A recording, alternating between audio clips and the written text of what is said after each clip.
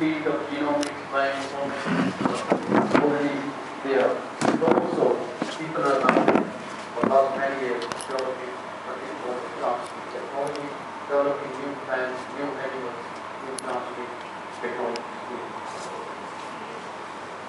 Now, in the field of agriculture, there have been basically three major